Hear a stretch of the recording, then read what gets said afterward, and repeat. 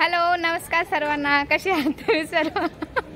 लगेच हसायला लागल्या तर आज आलेली आहे मी आमच्या जुन्या ठिकाणी म्हणजे चिंचवडला जिथे मी राहायचे जिथे माझा खूप जीव आहे अजूनही आहे. मी जरी मोशीला गेलेले असले तरी मला तिथे नाही आवडत एवढं. करमत पण नाही जास्त कारण मला फ्लॅट सिस्टीम आवडत नाही. तर फ्रेंडकडे आलेले होते. खूप दिवसाची भेट झालेली नव्हती. आणि एक वर्ष झाले म्हणजे ओम. ही हे बघा हे दोघं क्लासमेट आहेत. हाय करा. हाय हे जेव्हा नर्सरीला होते ना तेव्हाचे क्लासमेट आहेत. तेव्हापासून मग आम्ही सगळे वेगळं झालो. त्याच्यानंतर मी कुठं ती कुठं असे सगळे चेंज झालेले होते. तर हे बघा ह्या अशा कॉलन्या आहेत. छान. मस्त. इकडे छान वाटतं असं आलं की निघायची इच्छाच होत नाही. तर इथला मॉलचा वगैरे व्हिडिओ सगळे व्हिडिओ मी थोडे थोडे शूट शूट केलेले आहेत. ते तुम्ही नक्की बघा सर्वांनी. तर पुढे व्लॉग थोडा कंटिन्यू आहे. तो पण तर ते सगळं बघण्याआधी आपण हे दुकानाचं थोडंसं बघूया. म्हणजे मी तुम्हाला बोलले होते की दुकान मी रेंटनी देते आणि त्यासाठीच मग मी त्या दिवशी जो व्हिडिओ टाकला ते जे शॉर्टमध्ये सॉन्ग होतं त्याच्यावरती जो व्हिडिओ पोस्ट केला मी तर त्यात मी थोडे इमोशनल झाले. आणि इमोशनल होत असताना तो व्हिडिओ पोस्ट केला मी.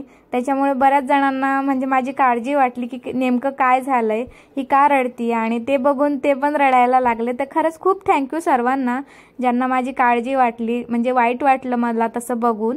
पण काय आहे की हे जे होतं दुकानाचं ते माझं एक स्वप्न होतं. खूप मेहनतीने उभं केलं होतं.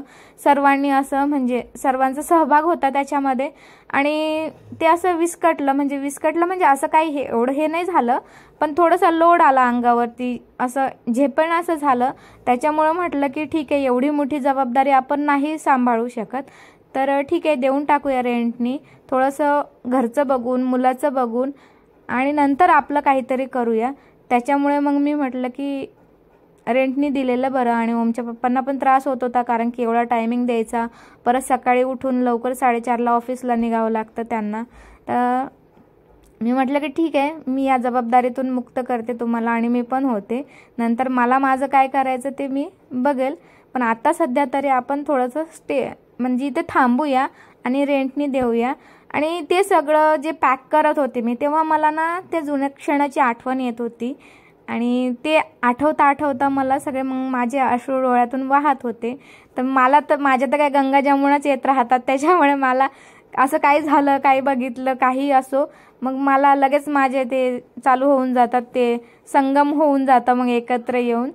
तर ठीक आहे आयुष्य आहे तर हे सगळ्या गोष्टी चालतच राहणार आहे. कारण सगळं काही सुखच असं वाटायला येणार नाही आणि दुःखाशिवाय सुखाची किंमत पण कळत नाही. थोडे दुःख पण आलेच पाहिजे. त्याशिवाय आपल्याला काही शिकायला मिळत नाही. दुःख जर आले तर कुठल्या ज्या गोष्टी आहेत त्या गोष्टींची किंमत कळते. आपण इथे काय करायला हवं होतं आणि काय केलं हे सगळं पण आपल्याला कळतं. तर मला असं खूप काही शिकायला मिळालं हे एक वर्षामध्ये. आणि हा हारून तर चालणारच नाही. जर हारून बसलं तर मग तसंच शांत बसावं लागतं. त्याच्यामुळे ठीक आहे. जाऊ द्या म्हटलं पुढे काहीतरी मार्ग निघल. म्हणून मी स्वतःला सावरलं. कधी कधी वाटतं थोडंसं वाईट पण असं वाईट वाटून आणि गप्प बसून काही होणार नाही. त्यामुळे जे आहे ते फेस करायचं आणि चेहरा हा- ला चेहऱ्यावरती हसू ठेवायचं आणि पुढे जे येईल त्याला सामोरे जायचं ह्या सगळ्या गोष्टी. आणि आपण तर आपले तर हातपाय नीट आहेत ज्यांना हातपाय नाही ते सुद्धा जगत आहेत आज. तर मग ठीक आहे ना देवाने थोडंसं हे केलं जे आपल्या नशिबात होतं ते झालं. आता त्याचा दोष आपण कोणाला देऊ पण शकत नाही. ज्या गोष्टी नशिबात लिहिलेल्या असतात त्याचा दोष दुसऱ्यावर ठेवून काय फायदा ना? जे व्हायचं होतं ते घडलं. आणि त्याच्यामुळेच मी म्हटलं की ठीक आहे चला थोडंसं फ्रेश होऊन येऊया. आणि थोडा माइंड आपला डायवर्ट करूया त्या गोष्टींपासून त्या विचारांपासून. आणि पुढचा मार्ग मग तिथून आपल्याला हळूहळू हळूहळू मोकळा होईल की आपल्याला नेमकं काय करायचं आहे पुढं. त्याच्यामुळे मग मी काय केलं की थोडंसं मैत्रिणीकडे गेले आणि म्हटलं की मग तिथे गेल्यावरती थोडंसं फ्रेश होऊया. आणि त्यासाठी पण मी दुकानाचा व्हिडिओ पण टाकलेला नव्हता. म्हटलं नको पूर्ण व्हिडिओ टाकायला. त्याच्यामुळे मग मी थोडंसं ही झलक दाखवलेली आहे. ह्याच्यापुढे जो आहे तो मॉलचा आणि बाहेर मी फिरायला गेलेले आहे तो व्हिडिओ आहे. तर व्हिडिओ थोडासा लांबलेला आहे म्हणजे थोडा मोठा झालेला आहे. तर सर्वांनी नक्की बघा. आणि मी जा म्हणजे जास्त नाही काही हे केलेलं म्हणजे शॉपिंग वगैरे असं काही नाही केलेलं. पण ठीक आहे कोणाच्या बोलण्याने चेहऱ्यावरती स्माईल येते थोडंसं आपल्या बोलण्याने दुसऱ्याच्या चेहऱ्यावरती स्माईल येते.